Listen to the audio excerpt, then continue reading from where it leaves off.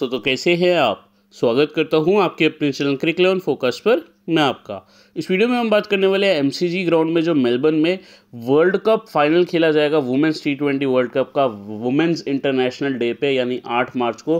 Perfect day choose किया गया world cup का, क्योंकि वुमेंस इंटरनेशनल डे और साथ ही साथ आपको बता दूँ इंडियन कैप्टन हरमनप्रीत कौर का बर्थडे भी है। उम्मीद करते हैं बर्थडे हमारे लिए लक लेके आए और इंडिया को मैच जीतने का अवसर मिले। यहाँ पे आपको बता देता हूँ, बहुत अच्छा मौका है इंडिया के लिए। कभी भी इंडिया वुमेंस में कोई वर्ल्ड कप नहीं जीती है किसी फॉर्मेट में लेकिन ऑस्ट्रेलिया काफ़ी बार चैंपियन रही है। डोमेस्ट आप देखोगे डिफेंडिंग चैंपियंस भी है, लेकिन मैच वहीं से शुरुआत हुई थी वर्ल्ड कप की। इंडिया वर्सेज ऑस्ट्रेलिया वहीं पर ख़त्म हो रहा है। इंडिया वर्सेज ऑस्ट्रेलिया चाहे वो मैच पहले की बात करें, जो आपको यहाँ पर दिख रहा है, चाहे वो लास्ट मैच उस मैच में इंडिया ने इनको हराया था, ऑस्ट्रेलिया को हमने लास्ट वर्ल्ड कप में भी हराया था ओडीआई वर्ल्ड कप में भी हराया था।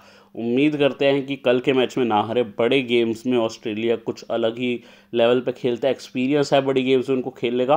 उम्मीद करते हैं कल शेफाली वर्मा, हरमनप्रीत कौर और स्मृति मंदाना इंडिया को जिता दे। मेरे हिसाब से कल के मैच में सबसे इंपॉर्टेंट खिलाड़ी स्मृति मंदाना और हरमनप्रीत कौर होना ही होगा, क्योंकि यहाँ पे जो Shafali Verma world number one rank batsman बन चुकी हैं बैट्समैन मुझे कहना चाहिए। उनके सामने पूरी यहाँ प्लानिंग करके आने वाला ऑस्ट्रेलिया। मेगन कट ने ऑलरेडी बोल दिया कि हमारे प्लान्स रेडी हैं। We know how to stop bold statement दे दी है उन्होंने। देखना होगा कल क्या करते हैं। उम्मीद कर रहा हूँ कि कुछ ऐसा हो कि भारत वर्ल्ड कप जीते, वरना बहुत दुख होगा, क्योंकि पहले ही अंडर नाइनटीन वर्ल्ड कप में फाइनल हार कर आ रही है। ये मैच उम्मीद करता हूँ भारत जीते और ऐसा ही मैं मानता हूँ कि होना चाहिए। बाकी पिच के बारे में बात करें, एक हार्ड सरफेस है बाउंस यहाँ पे होता है कैरी भी है। जो विकेट है एकदम फ्रेश बताई जा रही है, अच्छी बैटिंग विकेट बताई जा रही है। वर्ल्ड कप में आपको यहाँ पे 150 के करीब का स्कोर देखने को मिल सकता है मेरे हिसाब से। इंडिया अगर बैटिंग करती है, पहले उम्मीद करता हूँ अच्छा स्कोर खड़ा कर पाएगी क्योंकि ऑस्ट्रेलिया की बैटिंग काफ़ी अच्छी है और ये एक चैलेंजिंग मैच होने वाला है। मुझे लगता है पलना भारी ऑस्ट्रेलिया का है। Experience world champions home ground advantage ये सब की फैक्टर्स है जो यहाँ पे रोल अदा कर सकता है।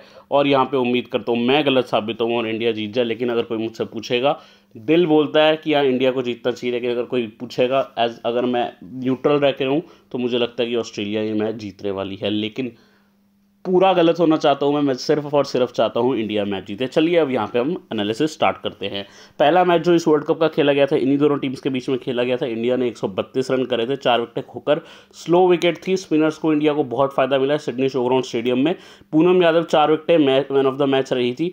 हमारे लिए बहुत अच्छी साबित हुई थी। 132 रन इंडिया ने किए थे 115 रन ऑस्ट्रेलिया ने चेस करते करते किए थे। Healy 51 Gardner 34 Deepti 49 Poonam Yadav four wickets Shikha Pandey three wickets ये इस मैच की कुछ स्टार प्लेयर्स रही थी। सबसे की प्लेयर्स यहाँ पे इंडिया के लिए रहेंगी हरमनप्रीत कौर स्मृति मंधारा मेरे हिसाब से इस मैच में। अभी तक इन्होंने वर्ल्ड कप में परफॉर्मेंस नहीं दी है। कल इन दोनों को आप ग्रैंड लीग में ट्राई करने वाले हैं। उम्मीद करते हैं कुल कुछ अच्छा आपके लिए करके दें।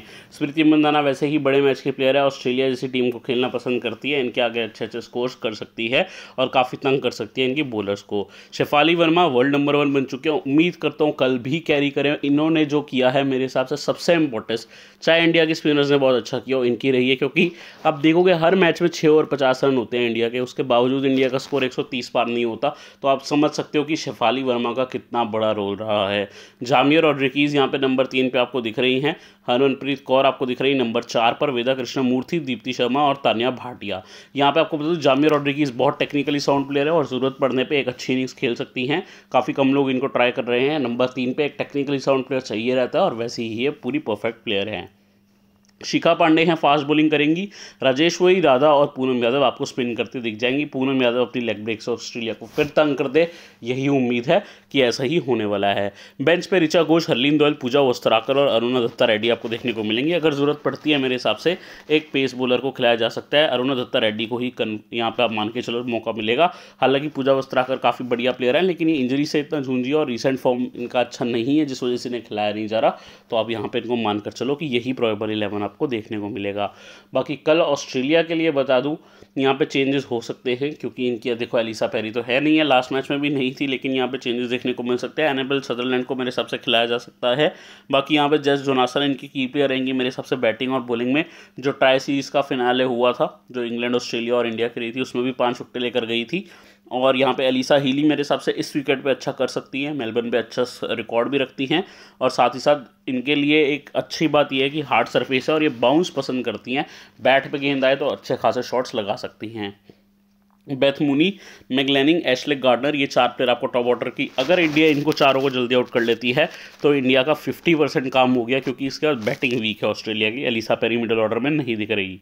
Rachael Haynes Jess Jonassen Nicola Carey fast bowling करेंगे और एक अच्छी differential pick Sophie Molineux one of my favourite players less than five seven percent selection बहुत कम सिलेक्शन है। इंडिया को तंग कर सकती है सोफी मेलोनिक्स कल की एक बहुत अच्छी डिफरेंशियल पिक मेलोनिक्स को ट्राई करना ही है। एनेबल सजरलैंड, मेगांश कट और दलीसा कविंस। ये आपको देखेंगे, मेगांश कट अब वर्ल्ड नंबर वन बॉलर नहीं नहीं है, क्योंकि सोफी एक्लिस्टोन इंग्लैंड की बॉलर बन चुकी हैं। लेकिन अभी भी आप कह सकते हो वर्ल्ड की बेस्ट फास्ट बॉलर हैं मेगांश कट और शबनम इस्माइल। शबनम इस्माइल की बात करने की ज़रूरत है नहीं, इस कट खेल रही हैं, ज़रूर ट्राई करें। Molly Strano Georgia Wareham Erin Burns और एनेबल सदरलैंड। यहाँ पे मैंने यहाँ लिखी पड़ी है, लेकिन एनेबल सदरलैंड मुझे लगता है कि कल खेल सकती हैं। सरप्राइज़ हो जाऊँगा अगर यहाँ पे एरिन बर्न्स को खिलाया जाता है, क्योंकि बैटिंग थोड़ी वीक लग रही है, क्योंकि यहाँ पे रेगुलरली सात बॉलर्स के साथ ऑस्ट्रेलिया जा रही है छः मेन बॉलर्स और सेवन्थ अगर हम काउंट करें, एशलेक गार्डनर भी बॉलिंग कर सकती हैं। वर्ल्ड कप में क्या हुआ, ये देख लेते हैं। बेथ मुनी ने पाँच मैच में एक सौ इक्यासी रन यहाँ पे शेफाली वर्मा ने चार मैच में 161 हीली पाँच मैच में 161 लैनिंग ने पाँच मैच में 116 विकेट्स कॉलम में पूनम यादव चार मैच नौ विकटें मेघन शिकट पाँच मैच नौ विकटें, शिखा पांडे चार मैच सात विकटें जस जोनासन पाँच मैच सात विकटें स्मृति मंदाना, हरमनप्रीत कौर की बड़ी इनिंग्स यहाँ पे आपको देखने को मिलनी चाहिए। अगर इंडिया जीतती है मैच इंडिया के जीतने के लिए सबसे की प्लेयर्स ये दोनों रहेंगी। हरमनप्रीत कौर की वो इनिंग कोई नहीं बोल सकता, जो वनडे के वर्ल्ड कप में इन्होंने आई थिंक सेमीफाइनल में खेली थी। ऑस्ट्रेलिया के सामने पूरी तरह से वन वन साइड मैच कर दिया था। कुछ वैसे ही उम्मीद करते हैं, अपने बर्थडे पर भी कल हरमनप्रीत कौर करके दे इंडिया के लिए।